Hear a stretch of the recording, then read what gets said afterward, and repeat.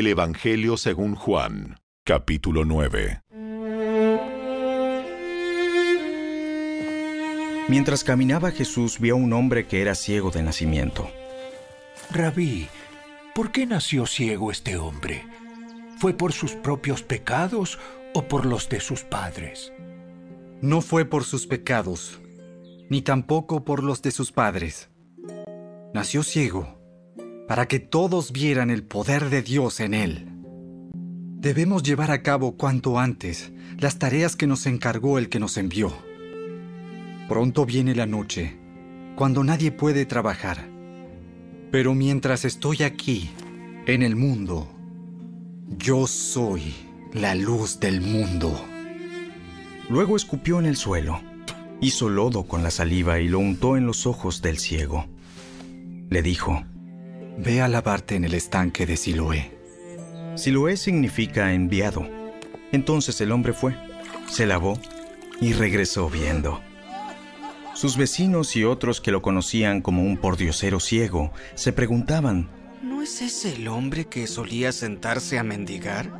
algunos decían que sí, y otros decían, No, solo se le parece. pero el mendigo seguía diciendo, Sí, soy yo. ¿Quién te sanó? ¿Cómo sucedió? El hombre al que llaman Jesús hizo lodo. Me lo untó en los ojos y me dijo, ve al estanque de Siloé y lávate. Entonces fui, me lavé y ahora puedo ver. ¿Dónde está él ahora? No lo sé. Entonces llevaron ante los fariseos al hombre que había sido ciego, porque era día de descanso cuando Jesús hizo el lodo y lo sanó. Los fariseos interrogaron al hombre sobre todo lo que había sucedido y les respondió, Él puso lodo sobre mis ojos.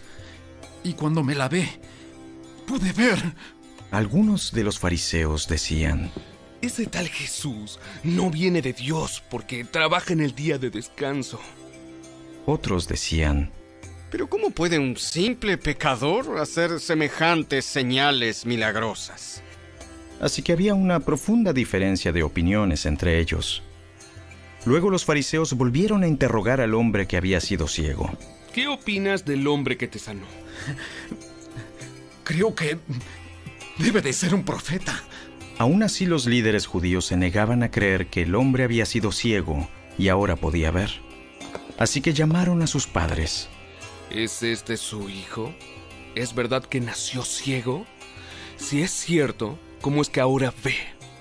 Sus padres contestaron, Sabemos que él es nuestro hijo y que nació ciego.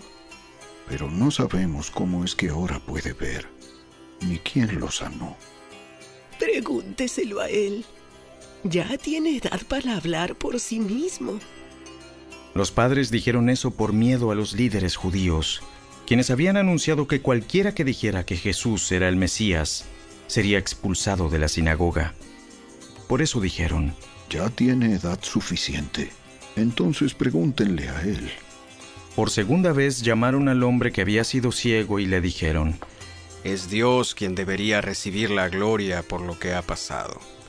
Porque sabemos que ese hombre, Jesús, es un pecador. Yo no sé si es un pecador.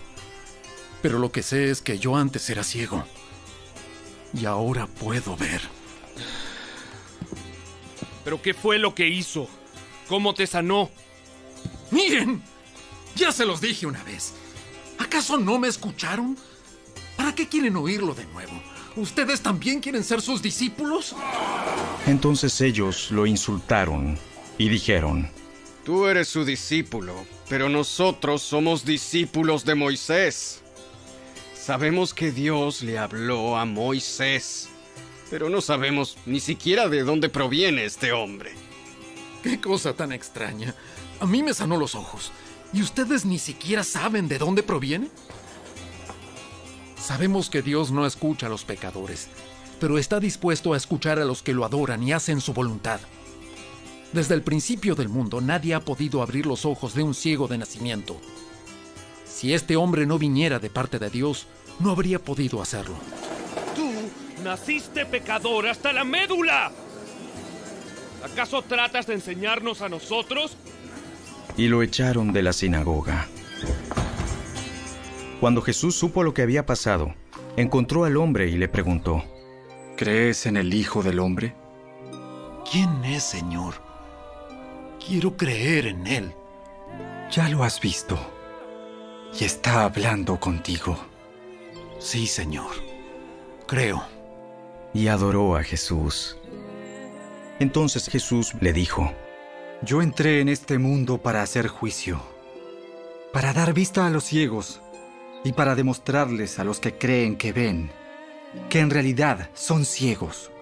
Unos fariseos que estaban cerca lo oyeron y le preguntaron, ¿Estás diciendo que nosotros somos ciegos? Si fueran ciegos, no serían culpables, pero siguen siendo culpables porque afirman que pueden ver.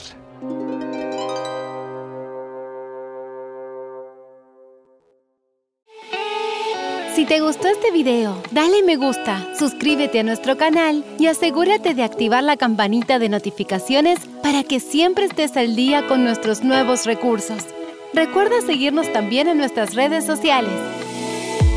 Descarga ahora mismo la app y escucha la audio Biblia dramatizada en tu celular.